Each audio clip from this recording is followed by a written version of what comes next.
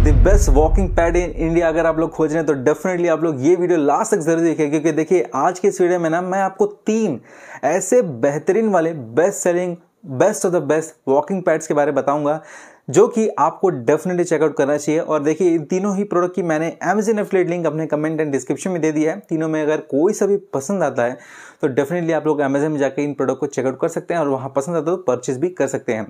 तो चलिए दोस्तों, इस वीडियो की शुरुआत करते हैं।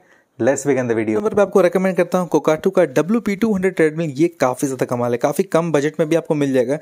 थ्री एच का यहाँ पे आपको मोटर देखने मिलता है। ये जिसके अंदर आपको एक साल की मोटर पे वारंटी देखने मिलती है। एक साल की वारंटी मिलती है, इसके पार्ट्स के ऊपर और तीन साल की वारंटी मिलती है इसके ओवरऑल फ्रेम में। मैं बात करूँ इसके फ्रेम के बारे में सो ये एलॉय स्टील का यहाँ पे फ्रेम दिया गया है और इसके अंदर आपको जो स्पीड रेंज देखने मिलता है, वो वन किलोमीटर पर आवर से लेके एट किलोमीटर पर आवर के यहाँ पे आपको स्पीड रेंज देखने मिल जाता है।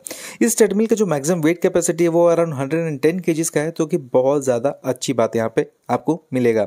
इसे कुछ और फीचर्स के बारे में बताऊँ तो जैसे इसके अंदर ना आपको वॉकिंग मोड भी दिया है, आप लोग इस पर वॉक भी कर सकते हैं। चाहेंगे तो उसमें रनिंग करना चाहते हैं तो रनिंग भी कर सकते हैं, लेकिन यहाँ पे रनिंग जो मैक्सिमम स्पीड है, वो आपको एट किलोमीटर पर आवर की ही देखने मिलेगा। इसका जो रनिंग सर्फेस एरिया है, वो भी काफ़ी ज़्यादा अच्छा है मतलब आपको बिल्कुल कंफर्टेबली आराम से इसमें आपको कोई भी दिक्कत नहीं होगी, बहुत ज़्यादा छोटा नहीं, ना ही ये बहुत ज़्यादा बड़ा है। मतलब जो परफेक्ट साइज़ होता है, वो परफेक्ट साइज़ यहाँ पर आपको देखने मिलता है। इसका डिज़ाइन ही कम्प्लीटली फोल्डेबल है तो उसको स्टोरेज करना भी बहुत ज़्यादा ईजी है और इंस्टॉलेशन वगैरह कुछ भी नीडेड नहीं है, इसको सेटअप करना भी काफ़ी ज़्यादा ईजी है और इसके अंदर आपको मल्टी फंक्शनल एलईडी डिस्प्ले देखने मिलता है, इसके अंदर डिस्टेंस टाइम वगैरह मिल जाता है। सेकंड नंबर पर रिकमेंड करूँगा ड्यूराफिट का, ये वाला ट्रेडमिल ये भी बहुत ज़्यादा कमाल का है, इसके अंदर पावरफुल 2.5 एचपी का पीक मोटर यहाँ पर आपको देखने मिलेगा, जिसके अंदर आपको एक साल की वारंटी देखने मिलती है और जिसका फ्रेम है ना, वो यहाँ पे आपको हाई क्वालिटी स्टील फ्रेम दिया गया है और इसका जो मैक्सिमम वेट कैपेसिटी वो अराउंड हंड्रेड के का यहाँ पे आपको देखने मिलता है। इसका जो रनिंग जो बेल्ट है ना, उसकी थिकनेस काफ़ी ज़्यादा अच्छी है अराउंड 1.8 पॉइंट mm की थिकनेस है, जो कि ड्यूरेबिलिटी के मामले में काफ़ी ज़्यादा ये सही है। इसके अंदर भी आपको वॉकिंग वाला फीचर देखने मिलता है साथ साथ इसमें रनिंग वाला फीचर देखने मिलता है, और जिसका, इसका भी जो स्पीड रेंज है, वो आपको वन किलोमीटर से लेकर एट किलोमीटर के यहाँ पर आपको देखने मिल जाता है।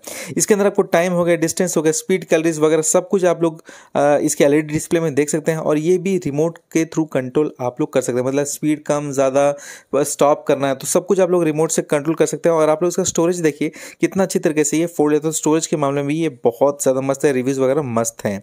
फ़र्स्ट नंबर पर आपको रेकमेंड करूँगा वेल केयर का मैक्स प्रो ये वाला वॉकिंग पैड ये तो सच में बहुत ज़्यादा कमाल का है।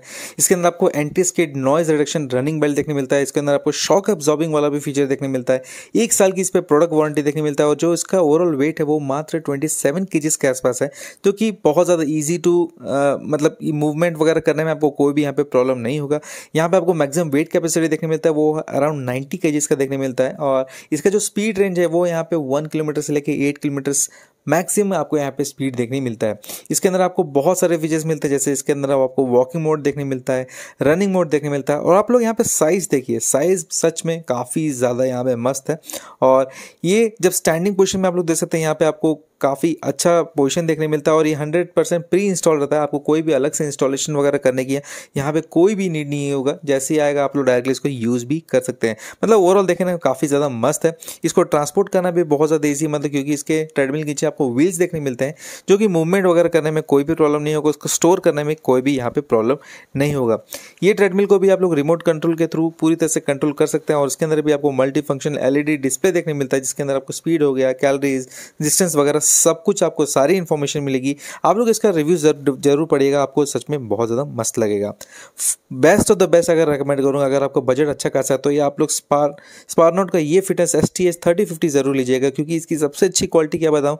इसका मोटर सच में 5.5 पॉइंट एचपी का यहाँ पे मोटर है। Maximum weight capacity around hundred and ten K Gs का है।